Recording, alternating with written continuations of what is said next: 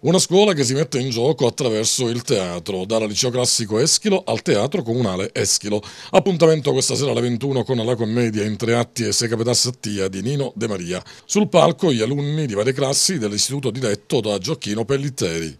La commedia è molto attuale, sebbene sia stata scritta negli anni 70 circa. La, diciamo che la scelta è stata molto naturale perché le risate sono assicurate. Vi siete preparati bene?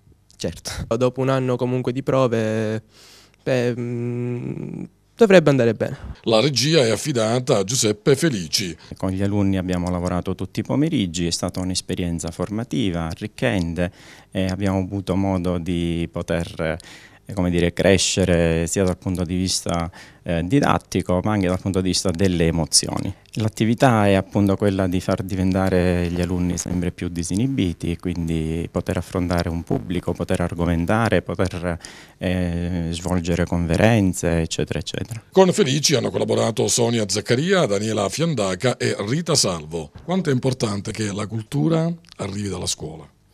È importante perché dà la possibilità di affinare eh, il senso civico, il senso morale, appunto dal punto di vista intellettuale, ma anche dal punto di vista umano. L'ingresso questa sera è gratuito.